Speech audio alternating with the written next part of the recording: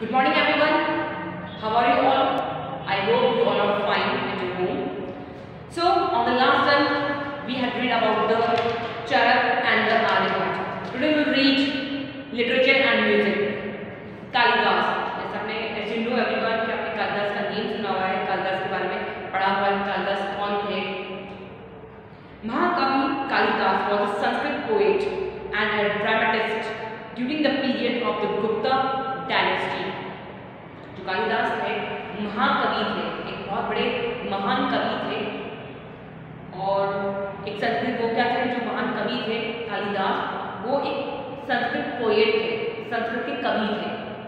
And dramatist एक बहुत famous dramatist भी थे ड्रामा करते थे प्ले करते थे। During the period of the Gupta dynasty किस टाइम पीरियड पे गुप्ता डायनेस्टी जब गुप्ता डायनेस्टी थी, उस टाइम पर जो महान कवि है कालिदास वो अब ये करते थे, संस्कृत पोएट थे उस टाइम पे और ड्रामेटिस्ट भी थे। He was a court poet of Chandragupta second और वो जो चंद्रगुप्त सेकेंड के क्या थे पोएट थे, उनके एरिया के उनके उनके एम्पायर के।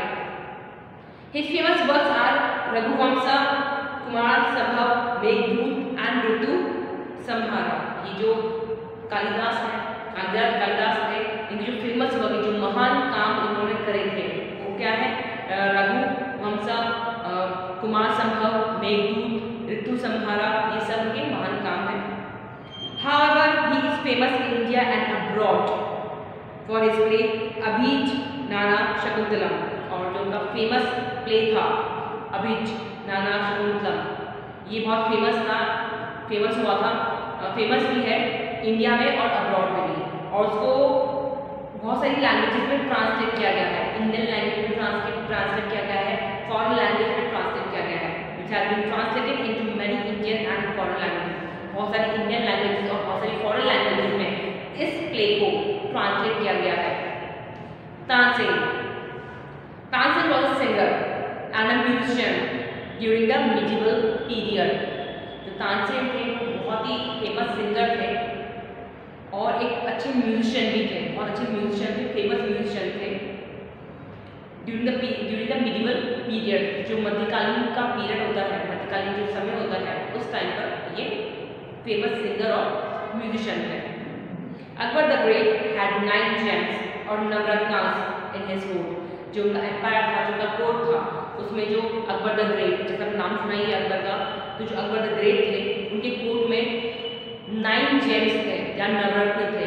जेम्स मतलब वो हीरे मोती नहीं जेम्स का मतलब यहाँ पर क्या है? नाइन जेम्स मतलब यहाँ पर नौ लोग, वो नाइन पीपल नाइन पर्सन वो नौ लोग जो उनके कोर्ट में थे. These gems were the people who had distinguished themselves in different fields. Akbar the great के कोर्ट में एम्पायर में जो नौ लोग थे जो नौ नवरत्न थे ये कोई जेम्स नहीं है ये कोई हीरे मोती नहीं है ये नौ लोग हैं पर्सन हैं जो अलग अलग फील्ड्स में क्या थे अपने आप को डिस्टिंग्विश करते थे Tansen was one of the gems whose music and melodious voice adorned Akbar's court. Tansen उन नौ रत्नों में से एक रत्न तानसेन थे।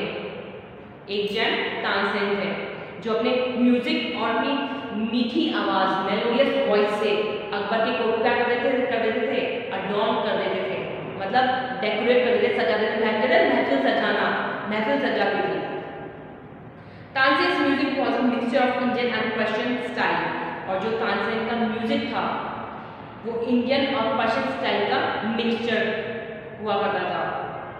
He also develop a style of his own और अपना ही उन्होंने अपना खुद एक स्टाइल डेवलप किया था। ही कंपोज म्यूजिकल ट्यून्स और रागास लाइक राग मल्हार एंड राग दीपक और जो तानसेन थे, वो अपनी ही म्यूजिकल ट्यून्स और राग डेवलप कंपोज किया करते थे, बनाया करते थे। जैसे कि raag Malhar raag Deepak remaining chapter will on the next time have a good day thank you